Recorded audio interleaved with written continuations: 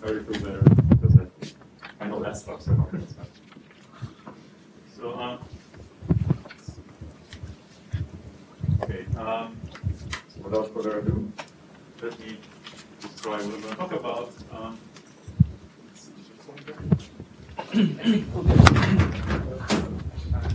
uh,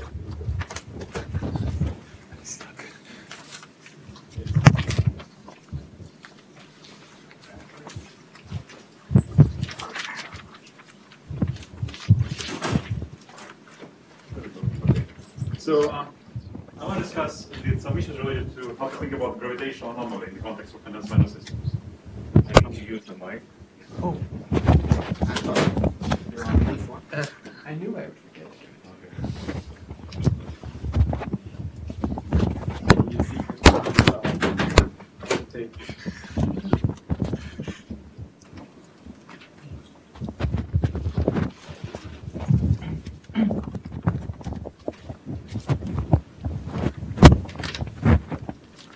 Working. Okay, so, uh, uh, but first I'm going to review some issues related to ordinary quantum well, and how I will explain how to think about gravitational anomalies in context of Panasonic systems and how this uh, helps to understand uh, thermal Hall effect. But first I'm going to explain uh, analogous issues in, in the familiar case of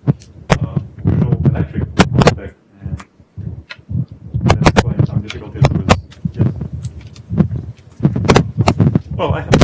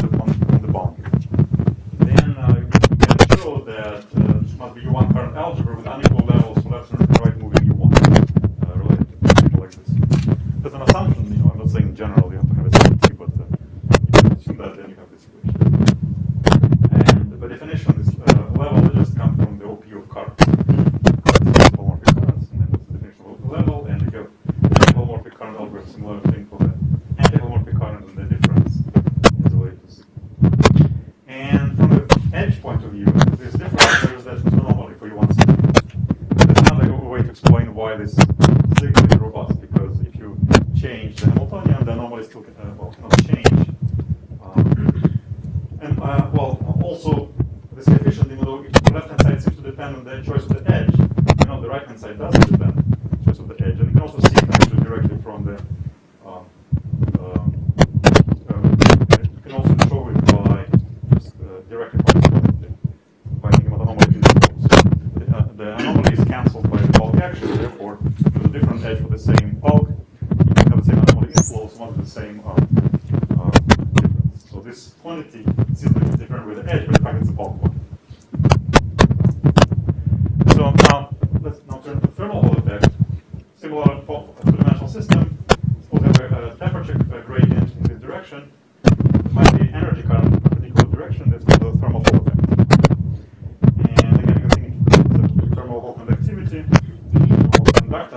conductance, depending on whether you think about the current density.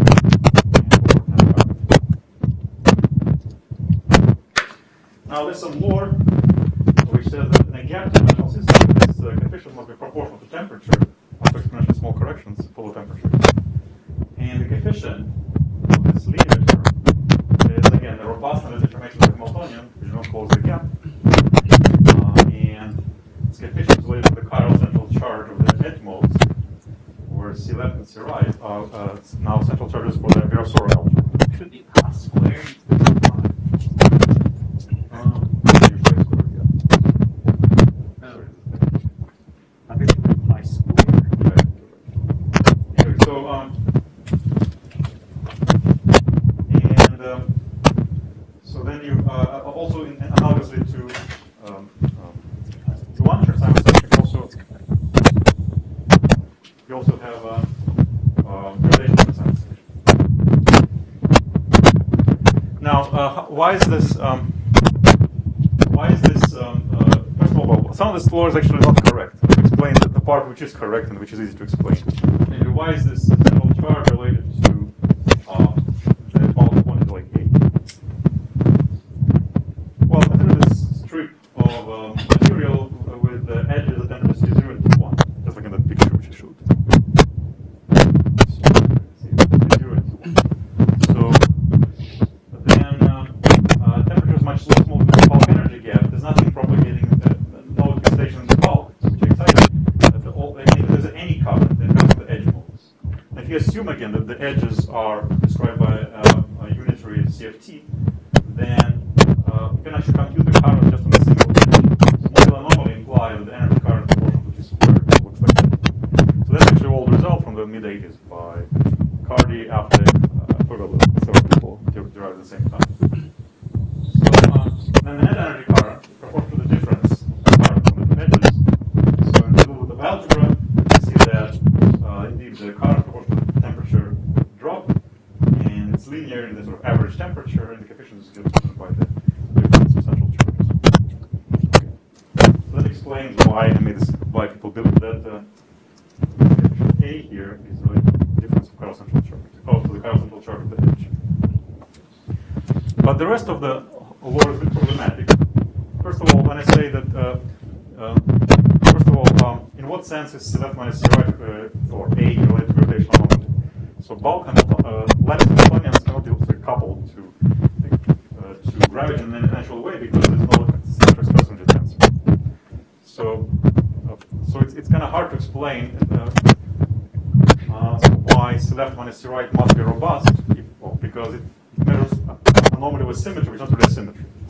So there's no difficulty in symmetry in the lattice. Similarly, um, Chern-Simons, relational Chern-Simons act well, particularly this prescription how to um, uh, uh, for de- defining the signal A or signal uh, or thermal conductance by uh, coupling to gravitational field and integrating out and getting Chern-Simons that's ill defined.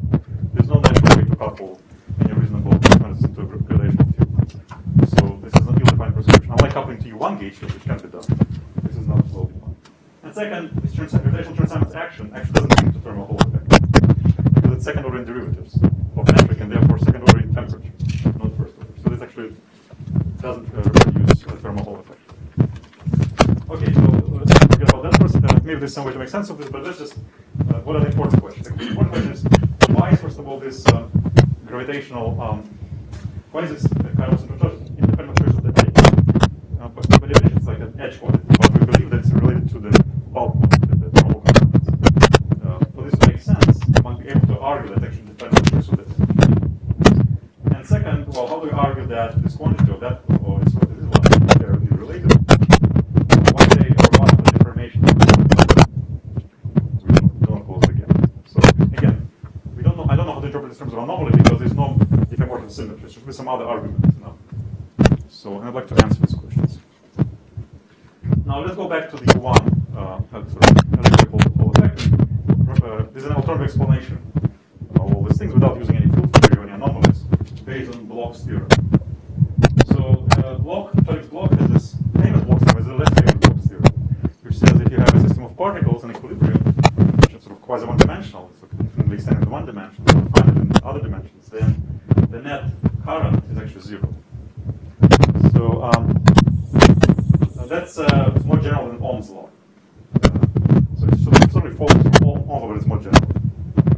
Now, um, well, Grant actually, actually I haven't read Bloch's paper because it's published in some obscure journal, published by Briven. I read Paul's paper though, which explains carefully what Bloch's actually, what Bloch's argument explains that uh, uh, the proof specifically relies on charge quantization. Uh, now, um, uh, recently, Watanabe also proved that lattice is using the same, exactly the same technique, systems of particles. Um, now, this is not universal, particularly if you have U1, uh, one, one dimensional proof here, with U1 anomaly, is a proof anomaly, then actually, uh, in that case, uh, a net U1 current. Specifically, if you have a chemical potential for this U1, there is a net current that looks like that, proportional to the uh, difference of left and right moving levels for the sort of alpha, uh, for the U1 current. So Bloch's theorem is not always true. It's true for some parts of systems. So, but anyway, we can use the theorem, theorem to s- give an alternative explanation for why k left minus k right does the best versus the edge. Because uh, you have, let's suppose you have like some along this nice systems, like system of particles, or lattice systems, uh, with an energy gap, and the theory is not strict.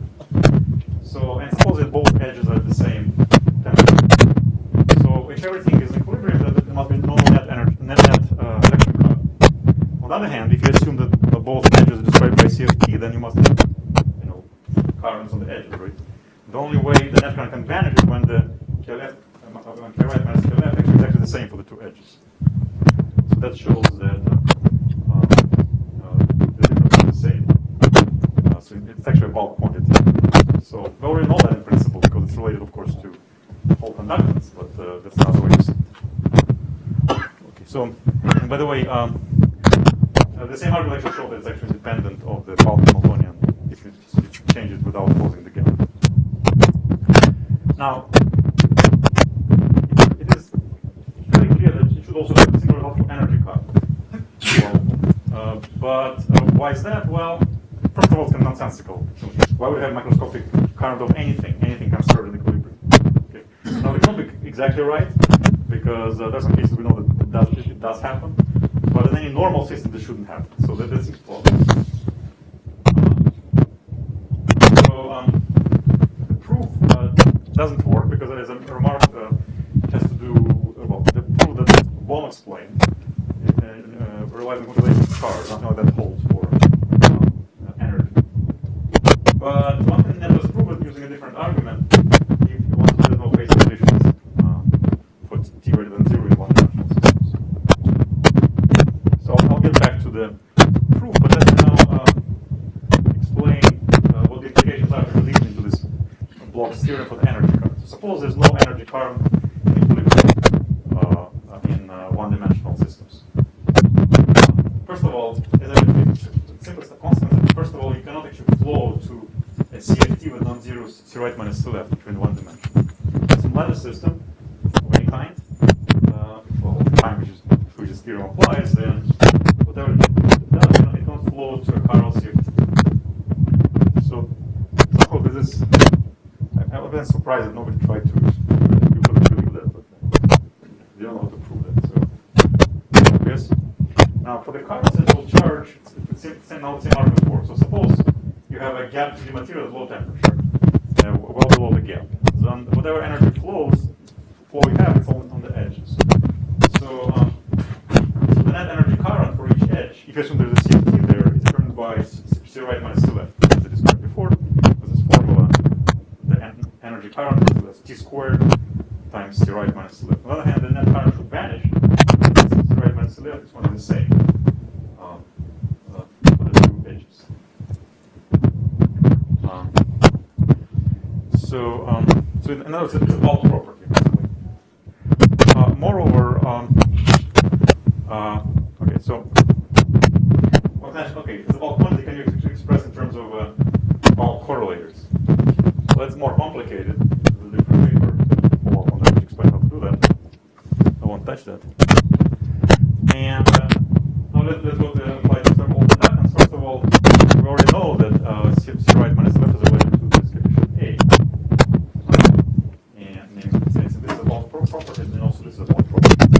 But now we can also argue that this A is actually dependent on the parameters of the Hamiltonian, because if you vary them without closing the bulk energy gap, then nothing cha- it doesn't change. Why is that? Well, again, consider a strip of material and consider uh, bulk Hamiltonian, which sort of varies across the strip.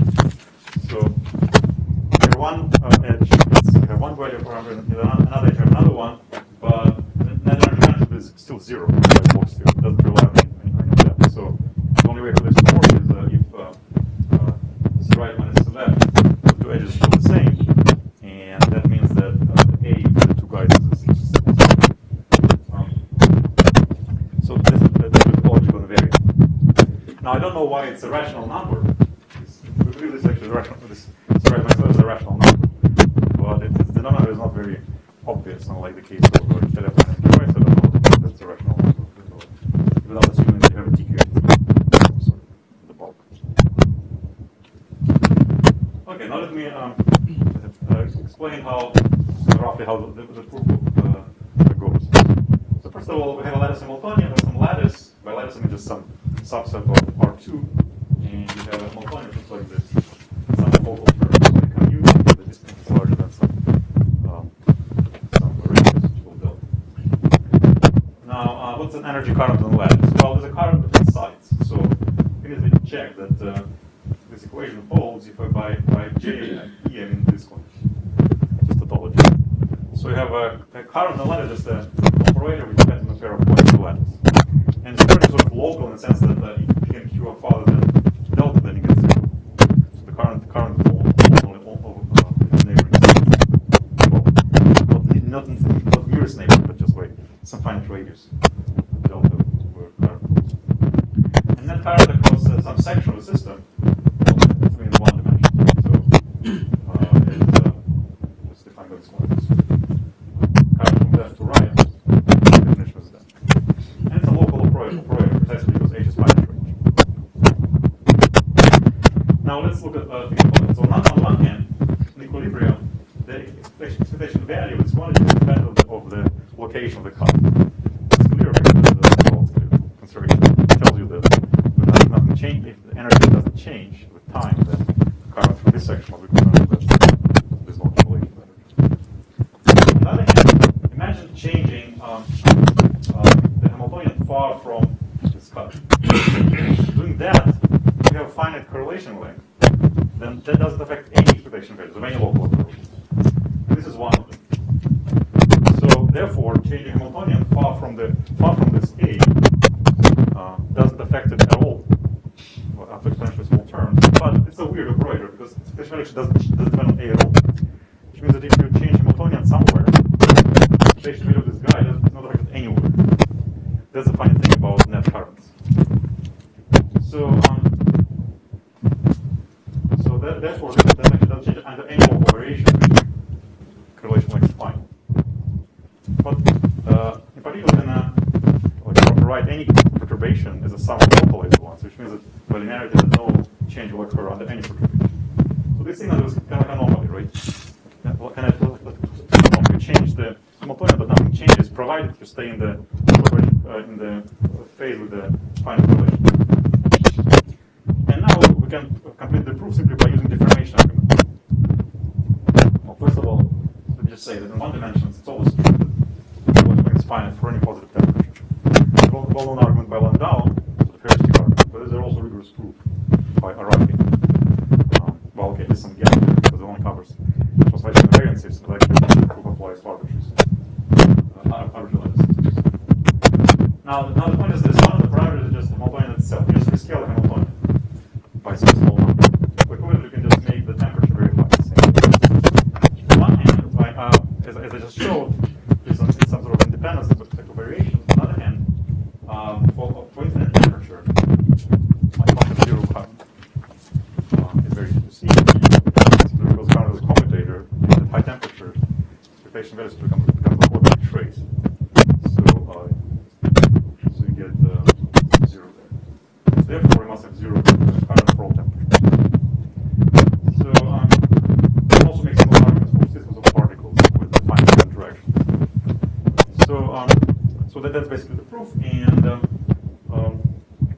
explain the consequences.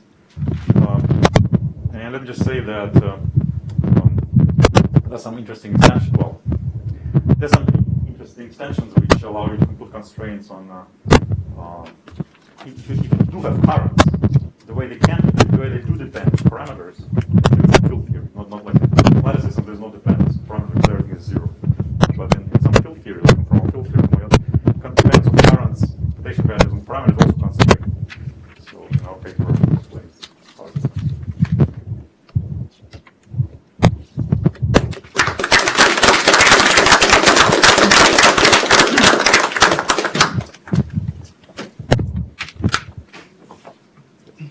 So you basically saying that the standard charge will be determined by the bulk TQFT, right? That, that's what you are. By bulk Hamiltonian. But By the equivalent class of bulk bulk Hamiltonian. I'm not assuming this is TQFT there. okay, so you know that's really you know has to do with the uh, mod A, right? So we know from the TQFT you can get a standard charge mod A. Yeah. So you are thinking the the model A will be determined by the Hamiltonian. Well, if you assume there's TQFT, yes, we know that modulo 8 is determined by the, just, by the properties of anyons. But I'm not assuming that, so, and there's some number. It says just yes modulo on the 8. Hamiltonian. The Hamiltonian should give you that. Well, Hamiltonian definitely gives you an actual number. And actually, there's a formula in our other paper. Wait, I'll the get this number. Is there a simple response function that the gravitational Chern-Simons term uh, Well, it's some, um, I'm not sure, so it's some second derivative, well, first of all, I'm sure it's well defined at all. As I say, coupling to gravity is ambiguous procedure. I'm not sure you know what it means. It's all defined? Gravitational transcendence? It's well defined for systems which have enough uh, invari- like enough symmetry on, on microscopically. Say, it says in- if you maybe like um, Galilean symmetry or something like that, some clean systems can make sense of this probably. But for lattices, I don't know how to make sense of that. I think just ambiguous quantity. So your, the proof in one D, this absence of currents, like, it doesn't generalize to higher dimensions? Well, the current is about the net current only defined sort of quasi one-dimensional systems. We have infinite extent in uh, in one dimension and any any extent in the perpendicular direction. So it's net current is only defined when you have finite extent in uh, um, in uh, um, in all other dimensions. So it's really theorem about arbitrary dimensions. You define the energy current. I wonder whether correlation for that energy current can give you some gravitational term. I don't know how to make sense again. Coupling to gravity is ambiguous. I'd like to avoid that. It's like it's getting to this very thorny question. Actually, that's why I quite ended up with this because I don't know how to make sense of like putting a, some condensed system on a non-trivial spatial slide. For- Forget about non-trivial like space-time. So Can you elaborate on this? What, what's the obs- obstacle for this? What's the obstacle? Wh- Why is it so hard to put it on curved space? there's no rotational variance either. So what? Well, there's no natural way. Let's put it this way. So it's ambiguous how you, what you get. There's no symmetric expression of tensor even in spatial sense. Okay, two more question, quick questions. Um, So your bulk correlators for capax would apply also to gapless systems? Um, yeah, it is at, at non-zero temperature. You know, the formula applies to general temperature. Okay. Yeah, so it's just that uh, you need to have finite correlation length for this to make sense. Sure, finite temperature. Yeah. For the case, for the case with Hall conductivity, uh, electric conductivity, Yeah. um, can you, can you, maybe, I mean, I mean, I guess you assume existence of current, right? Suppose, suppose you have some symmetry that acts in a non, you want symmetry that acts in a non-on-site way or in some weird way. Can you, can you say something in that case? Uh, but, but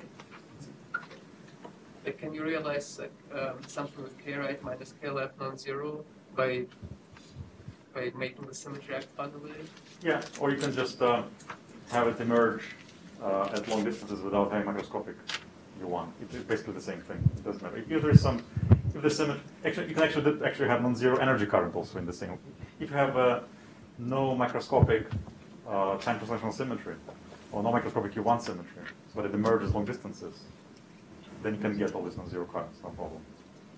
say, basically, when I have two anomalies of any kind at long distances, it means you cannot really have a microscopic formation of this on, acts on site. But if, as soon as you allow non-on site or, or just emergent symmetry, then of course you can